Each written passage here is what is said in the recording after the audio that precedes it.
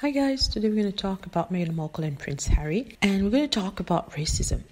So, you know that racism has been a big issue in the UK, and Prince Harry and Meghan Markle addressed that during their interview with Oprah Winfrey, and even before then, they were talking about constitutional racism and even unconscious bias. And they say that we should do more about it and talk about it so that things can change. At the time, they were heavily criticized for having this discourse, and people were saying that they had to cure the whole UK of being racist, which they haven't. They just said that there were racist people in the UK and unconscious bias that was normalized and accepted in society.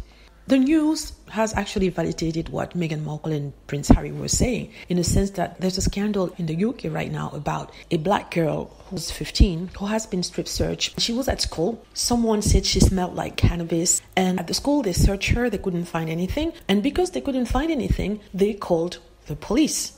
We don't know why they did that. Now, the police came and gave her an intimate search, and the girl was traumatized. It was very humiliating. And the uh, Metropolitan Police the Met Office has apologized and said that this should not have happened without the parents being present there, and the fact that she was searched was influenced by racism. The police has said that in their memo, and a review is now underway. So this is to confirm what Harry and Meghan has been saying for so long. They were slammed, they were bashed about talking about it at high profile royal members. But every damn day there's confirmation of what they said.